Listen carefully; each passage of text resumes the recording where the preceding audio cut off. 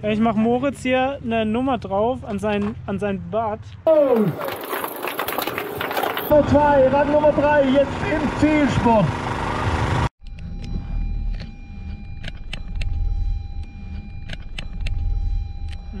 So, Wie ist das? Fahr mal geradeaus einfach. Wie schmeckt das? schmeckt geil. Ja. Ist gut. Also, du bist ja ein richtiger OG. Ich? Ja. Ja. So, guten Morgen. Wir sind jetzt hier auf dem Weg zu meinem ersten Gravel Race. Moritz auch das erstes Gravel Race, glaube ich, oder? Mhm. Und äh, wir fahren jetzt nach Schramberg. Und nachher gibt es dann eine Runde mit 5,8, 5,9 Kilometer. 10 Runden sind es und mit 80 Höhenmeter. Das heißt, am Ende haben wir 800 Höhenmeter, was jetzt nicht wenig ist für 60 Kilometer. Und ja, mal schauen. Wird bestimmt lustig. Fit bin ich nicht so richtig, aber ist ja egal. Es geht ja um Spaß. So, wir sind jetzt angekommen und wir holen jetzt die Startnummern und dann schauen wir uns mal die Runde an. Moritz ist schon richtig heiß, der hat vorhin schon die Rennstrategie besprochen, dass am Start eine Attacke fahren wird. Und ich habe schon richtig Schiss davor. Von meiner Attacke brauchst du keinen Schiss haben. Was machst du, Mike? Ich mache jetzt gerade die Startnummer dran und ich muss halt schauen, dass ich da jetzt nicht irgendwie ähm, das, den, den Einteiler kaputt mache. Weil ich will halt nicht, dass der, dass der irgendwann aufreißt. Ne? Deswegen schaue ich, dass ich das jetzt gerade nur so an den, an den, dass ich da ein bisschen umknick und es halt da an den. Eigentlich, eigentlich soll man das nicht machen, aber weil ich so klein bin. Er fährt Mike, doch kein Einteiler. was Ah, doch, machst du jetzt? Einteiler. Nee, nee, ich hab Ah. keinen Einteiler. Ja, ich mache Moritz hier eine Nummer drauf an sein, an sein Bart. Und wenn er jetzt gleich schreit, dann weiß ich, dass ich ihn gepiekst habe. So, und wie ist die Runde? Chillig. Gehe davon aus, dass wir die 10 Runden runterballern.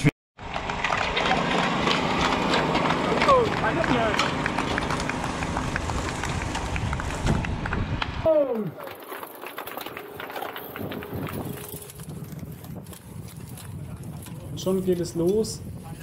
Jetzt hier gerade die Startphase und meistens ist es da immer so ein bisschen hektisch, aber alles relativ entspannt. Hier war ich mir nicht ganz sicher, fahren wir jetzt Rennen oder äh, was ist los, aber hier geht es jetzt schon los.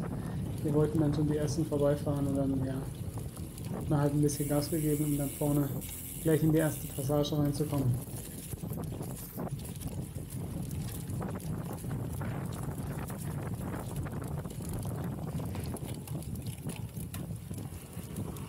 Dann, äh, das ist jetzt das Ende des ersten kleinen Anstieges. Und da geht es jetzt in die erste, ja, sage ich mal, etwas holprigere Passage. Dort wird dann auch, wurde auch schon Geschwindigkeit aufgenommen, ging ein bisschen leicht runter. Da konnte man schon quasi in Anführungszeichen die Beine fallen lassen, beziehungsweise es fiel einem nicht so schwer, vorwärts zu kommen, weil es halt ein bisschen abfallen war.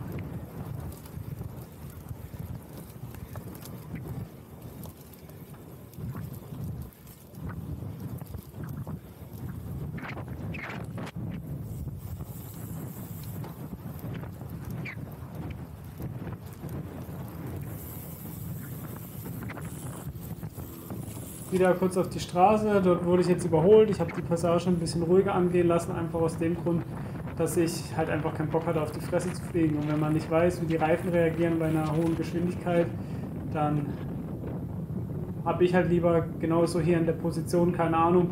Ich habe halt immer ein bisschen Meter verloren, aber das war mir in dem Moment auch egal, weil ich einfach auf sicher gehen wollte, dass mir nichts passiert. Und man sieht ja jetzt auch, Leute überholen mich wieder und das passt ja, weil dann hatte ich gleichzeitig schon den Windschatten wieder.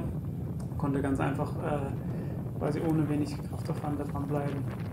Hier war jetzt etwas eine, sag ich mal in Anführungszeichen, technische, eine kleine technische Ste Stelle, wo man einfach schauen musste, dass man die richtige Linie hat, weil man da sonst äh, so ein bisschen abgerutscht ist und man dann echt viel Kraft gebraucht hat, um wieder Geschwindigkeit aufzubauen. Und man sieht jetzt hier auch 24, 23 km/h, was echt äh, nicht so schnell ist, aber dafür halt richtig Kraft gefordert hat.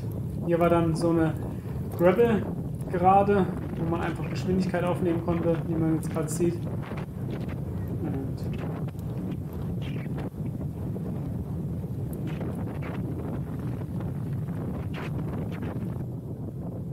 ja, hier dann die Abfahrt. Ganz entspannt. Und hier sieht man dann auch so, dass das Gravel Racing halt einfach ein bisschen lockerer ist. Da wird halt einfach ein bisschen abgekürzt und ja, hat sich keiner beschwert, hat auch gepasst. Wir waren alle cool damit und ja.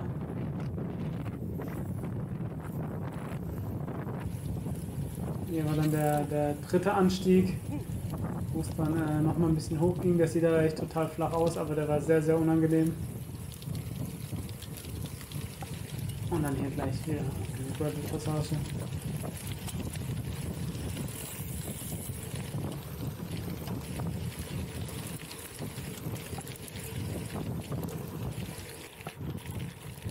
Hier war dann der erste Teil vorbei. Mit einer scharfen äh, Kombination. Und hier kommt man dann in die letzte Rechtskurve vor dem Ziel.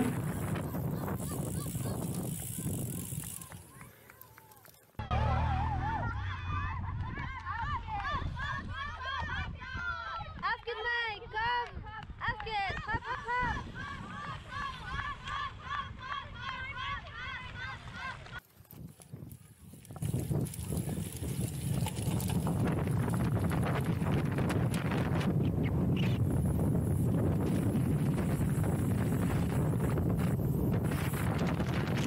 Und hier ging es dann zum Ziel, schön mit hoher Geschwindigkeit. Das hat richtig geschmeckt. Jetzt mal nach hinten schauen, wo sind die Jungs? Und hier dann vorbereiten auf die Passagen wieder, zack, kurz äh, hochgesprungen und dann wieder ins Gelände rein.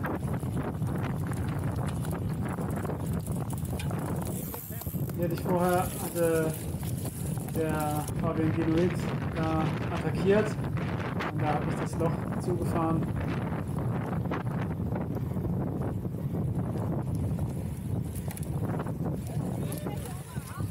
Und ja, man sieht, man musste wirklich fit sein, weil es ging halt immer wieder so Spitzen mit 400, 500 Watt und auch immer dieses Aufstehen.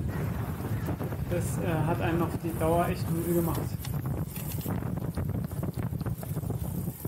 Und das ist jetzt hier die schwierige Passage. Hier sehen wir, dass einer auch ein bisschen Probleme hatte, falsch angefahren ist. Und, äh, das macht ja aber nichts. Schön einfach Geschwindigkeit aufnehmen, dranbleiben und abwarten, was passiert. Man sieht hier einfach, dass ich so ein bisschen immer Meter verliere, aber einfach, wie gesagt, der Respekt war jetzt auch für mich nicht so schwer, dann immer die Lücken zu schließen. Aber natürlich ist das äh, nicht so toll, wenn man da immer Kraft verliert oder Kraft verschwendet.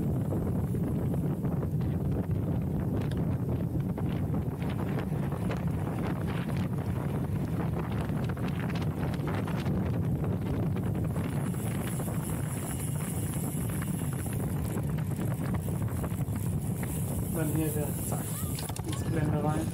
Da ist mir dann irgendwann mal auf die Kette runtergefallen. Ich musste anhalten und die Kette drauf machen. Das war eine etwas äh, blöde Situation, ja.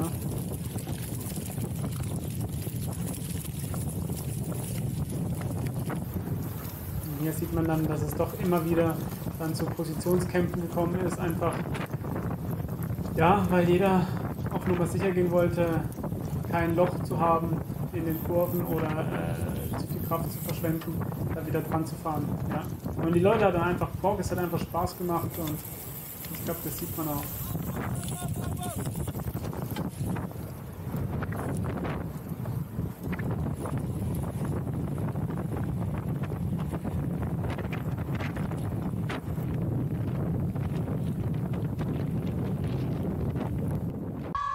Auf geht's, Mike, komm!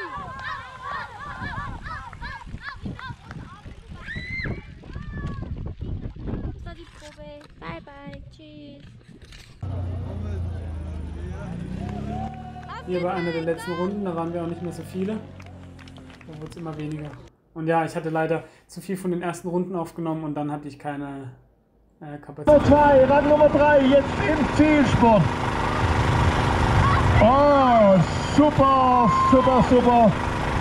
Chapeau für Mike Mono. in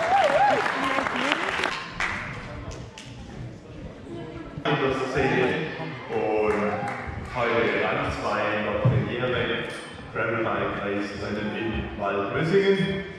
In der Spitze Hey Mike, wie war's? Ah. So, Rennen ist vorbei. War ganz geil, Wetter war top, Strecke auch. Moritz, was sagst du? Strecke war auf jeden Fall hart. Gleich Action vom Start weg. Gleich schön über den Acker. Ja, auf jeden Fall war ein bisschen zäh. Ich glaube, am Ende waren es dann auch 800 Höhenmeter auf 60 Kilometer. Also leicht war das nicht. Und äh, ja, ich habe dann am Ende ein bisschen zu viel attackiert, weil ich das Rennen ein bisschen interessant machen wollte. Am Ende bin ich dann Zweiter geworden, war ganz okay dafür, dass ich die Woche nur vier Stunden trainiert habe und eigentlich vom Gefühl her zu viel gemacht habe. Und jetzt sind wir auf dem Heimweg, dann gibt es eine Pizza und dann war mein erstes Scrabble-Rennen vorbei. Ne? War, war geil. Reifen haben super gehoben. Ich bin die Terra X gefahren oder Terra Speed mit 40 mm. Also das war genau richtig. Tubeless, sehr geschmeckt. Moritz hat ein bisschen schlechte Reifen drauf. Die waren dafür vielleicht nicht so gut. Sind nicht schnell genug gerollt. Naja, Ich hatte vielleicht ein bisschen zu viel Druck. ja, er hatte zu viel Druck. Dann hat er den Schwalbe G1, der halt sowieso nicht so ein gröberes Profil hat, nur so ein leichtes. Und dann rutscht er halt einfach die ganze Zeit durch. Ist halt nicht so geil. Aber ja, daraus hat er auf jeden Fall gelernt, würde ich sagen. Für nächstes Mal. Ja, für nächstes Mal. Das war die Probe. Bye bye. Tschüss.